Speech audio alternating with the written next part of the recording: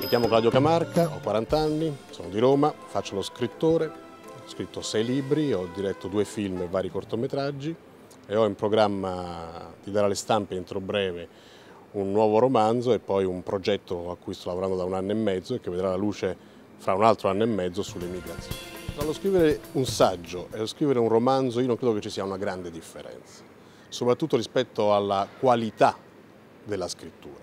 È chiaro che un saggio presuppone dei tempi molto più larghi che non un romanzo e presuppone spesso un'indagine sul campo che a volte il romanzo eh, non ha. Eh, per, per, mia abitudine io sono un camminatore, sono uno che va a cercarsi delle storie, va a cercare eh, i suoi personaggi in giro per il mondo. Questo lo faccio sia rispetto a un romanzo sia rispetto a un saggio. La cosa importante, almeno per quanto riguarda me, riguardo a un saggio inchiesta, è essere completamente staccati dalla quotidianità. Anche perché facendo così tu riesci a non essere travolto da quello che accade giorno per giorno mai e riesci ad avere un occhio anche storiografico rispetto a quello che devi raccontare. Quindi eh, eh, io lotto in tutte le maniere con i miei editori perché le, le date di consegna siano sempre elastiche, perché per me non è importante ragionare e lavorare su uno scoop. Per me è importante riuscire a porre delle nuove domande, non tanto dare delle nuove risposte. Per porre nuove domande il cammino può essere anche molto più lungo di quello che uno si era prefissato. Più che un elenco dei miei sei, a quest'oggi sei libri, più vari racconti sparsi per i giornali, riviste letterarie, eccetera, mi piace partire, raccontare una cosa. Io sono partito dalle periferie urbane, per arrivare poi alle periferie urbane di Roma, per arrivare poi a raccontare, a tentare di raccontare le periferie del mondo occidentale.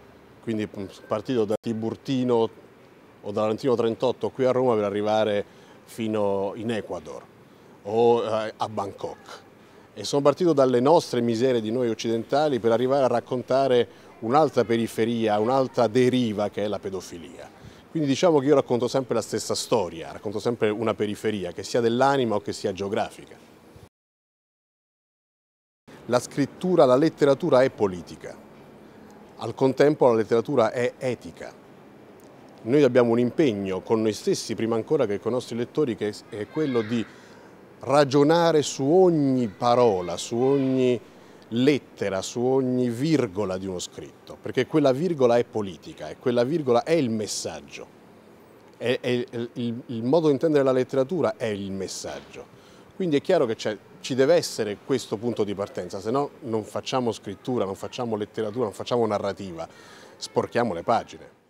Almeno per quanto riguarda la mia scrittura, il è quello di calarsi sempre dentro il personaggio. Chateaubriand diceva che non si racconta altro che il proprio cuore attribuendolo ad un altro io cerco di prendermi l'altro cuore e attribuirlo a me stesso. Perché se io riesco a raccontare me stesso diventato camaleonticamente un pedofilo piuttosto che un, uh, uno stupratore, piuttosto che un, un, un, un ultras uh, di una squadra di calcio, se io riesco a raccontare me stesso, riesco a raccontare una piccola cosa che fa parte di un grande discorso globale e quindi quella piccola cosa è una particella che si unisce a tutto il mondo e quindi raccontando me stesso riesco a, racc a raccontare anche quello che c'è dietro un fenomeno, partendo da me stesso, dalla mia camera, dal mio studio, dalla, dalla mia poltrona.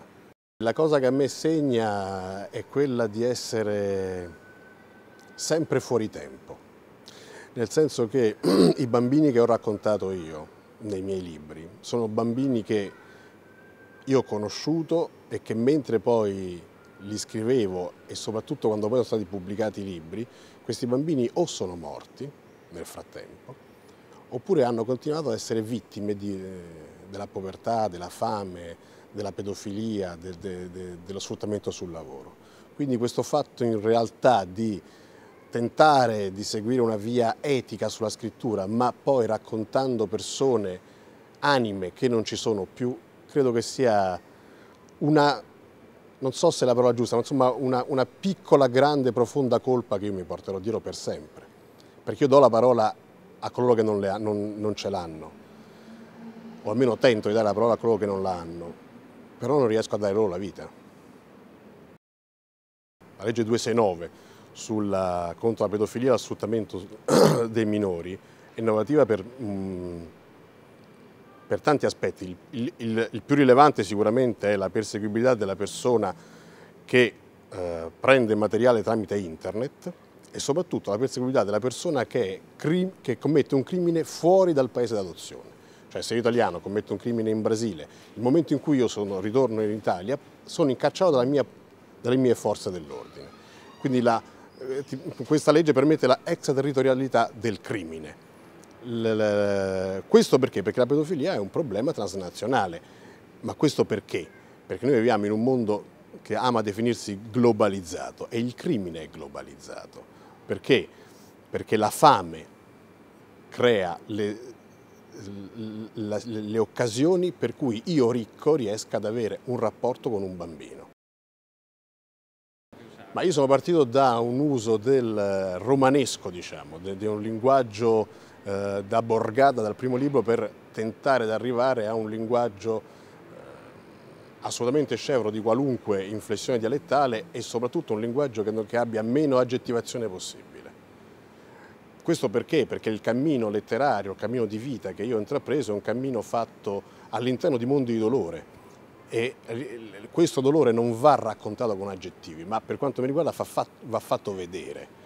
L'uso degli aggettivi non, può, non, farebbe altro che eh, far grondare materia su una materia che ha bisogno invece di essere esaminata e raccontata oggettivamente, quasi con, eh, sotto il vetrino di un entomologo, partendo dal presupposto che, per, almeno per quanto riguarda me, la spinta forte è quella della indignazione, è quella di, eh, di non vedere il, il, lavoro dello scrittore che non dalla parte del povero. E, e per andare eh, incontro al povero io devo uscire di casa e raccontarlo. E per raccontarlo non posso usare aggettivi, ma devo mettere la mia pagina al servizio delle sue parole, che spesso, proprio perché sono persone che mangiano poco, tutto hanno eh, voglia di fare fuorché di infarcire le loro storie, le loro vite di mh, mm, aggettivi, di, di, di, di, sostantivi. A volte, quando io parlo con, con queste persone, a volte io raccolgo solamente dei gesti, a volte non parlano nemmeno con me, a volte ci guardiamo negli occhi.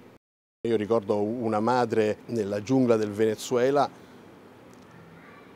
che aveva un figlio che non aveva la possibilità di eh, né, né, sentire né parlare. In un, in un mondo in cui non, nel suo villaggio non c'era accesso all'acqua. Quindi immaginiamo questa persona che vive con questo bambino. Quando, andai, quando lei mi invitò a casa sua, noi siamo stati a pranzo da lei e lei non mi ha raccontato la sua storia, ma mi ha raccontato quanto eh, tempo ci avesse impiegato e che ingredienti avesse usato per, per preparare quel pranzo.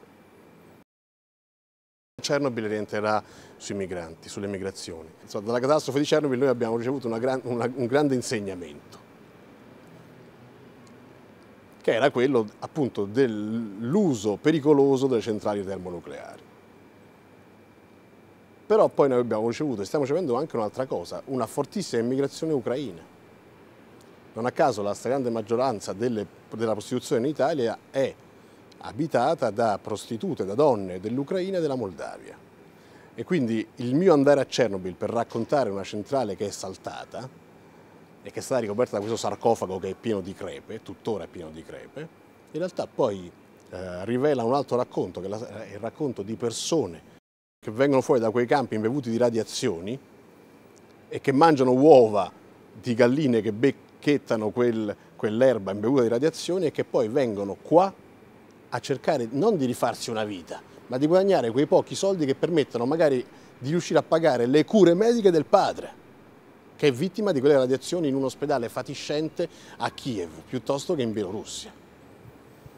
E quindi il fatto che attraverso la, la, la, la tragedia di Chernobyl noi abbiamo importato della prostituzione la dice lunga su quello che è in realtà l'universo della globalizzazione. La cosa che mi piacerebbe sottolineare è che noi parliamo di globalizzazione, non parliamo più di universalizzazione. Negli anni Ottanta si parlava di universalizzazione, cioè di universalizzare i diritti che noi società occidentale eravamo stati in grado di darci, i diritti e i doveri. Adesso si parla di globalizzazione che è semplicemente un meccanismo economico, non è un, me un meccanismo morale, non è un meccanismo politico, è un meccanismo economico. E noi attraverso la globalizzazione importiamo le vittime di Chernobyl, con le quali noi maschi, occidentali, italiani, ci andiamo a, a passare 20 minuti di tempo dandogli 30.000 lire, 15 euro, le quali 15 euro fanno, andranno a pagare le cure mediche del loro padre.